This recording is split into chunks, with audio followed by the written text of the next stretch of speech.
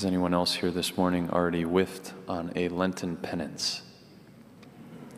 Oh, no hand. I'm, I'm just the poor sucker that failed already. There's actually a way in which our struggling or our failing in our Lenten penances is a good thing. To be clear, I'm not suggesting that we just give up on whatever we've committed to during this season of Lent, but our struggle with our Lenten practices is a reminder to us of our need for a Savior. That is, even our Lenten practices, even our fasting and our prayer are things that we can only accomplish, we can only do by the grace of God. We are in desperate need for a Savior, that we need to be saved. And the good news that we're offered in today's readings is that Jesus comes to do just that. As we see in the gospel, he goes to do battle for us in the desert as he confronts the evil one. And then St. Paul tells us in his, letter to the in his letter to the Romans that if you confess with your lips that Jesus is Lord and you believe in your heart that God has raised him from the dead, you will be saved. I say, well, thanks be to God.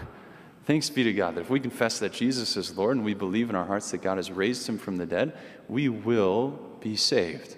We might say, is it really that simple? Is it really that simple? Well, yes and no. yes, we are just required to have faith for salvation. If I profess that Jesus is Lord and I actually do believe in my heart that God has raised him from the dead, St. Paul says, I will be saved. Place where we'd say no is that that faith has to be instantiated, has to be made manifest in my life.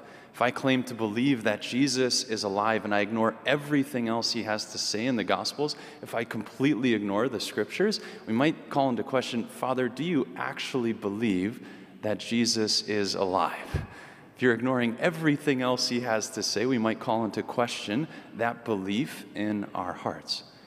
So, of course, we'd say, well, if we believe that Jesus is alive, we want to be paying attention to what are the things that he invites us to do. And we're offered in today's first reading just a simple practice that can offer a structure to our whole lives to keep us living in that truth that Jesus truly is Lord and he truly is raised from the dead. What we see in today's first reading from the, from the book of Deuteronomy is Moses explaining to the people the covenant that God desires to make with them. The people of Israel, he's brought them out of slavery in Egypt. He's about to lead them into the promised land. And he's establishing this deep covenant with them. That is a, a, deep relationship, not, not just a contract that they're signing, but this is a place of a, a communion of love. They're entering into a place of committing themselves completely to the Lord as the Lord commits himself completely to them.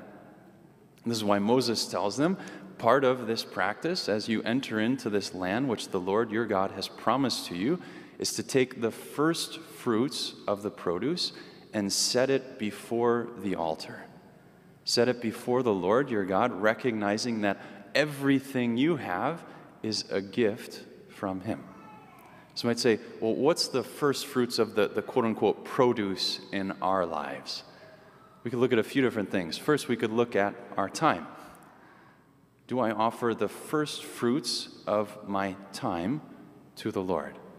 Certainly, we could say we're doing just that by being here at Mass. That was Sunday is meant to be a, a, first fruits of the week, the first day of the week offered to the Lord as a day of rest, as a day of worship. And obviously, we do that in a principal way by attending Sunday Mass. We could also look what, about the first fruits of my time on, on a daily basis? Do I start the day with just, a, even if it's just a simple offering of myself to the Lord? consecrating just a few minutes of time to Him, that, that I might give myself, that I might offer those first fruits to Him. Of course, we could look at our gifts, our talents.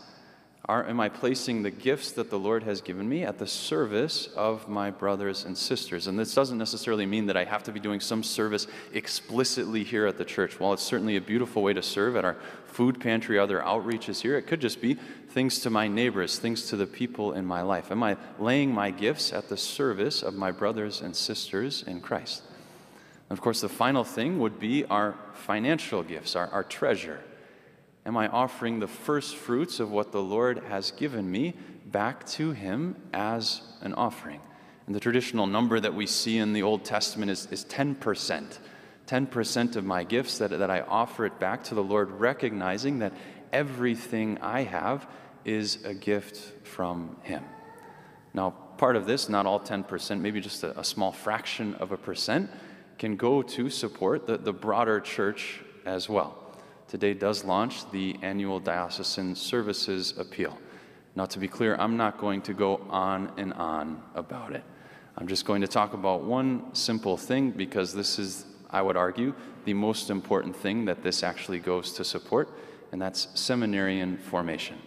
I myself was blessed to be a, a beneficiary of the Diocesan Services Appeal during my time in seminary.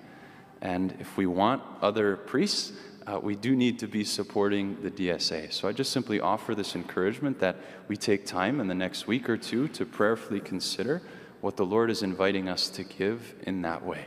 But all of these different facets, all of these different places where we can be offering the first fruits of our lives to the Lord. It's a way of demonstrating with our actions that we do truly believe that Jesus is Lord and that God has raised him from the dead.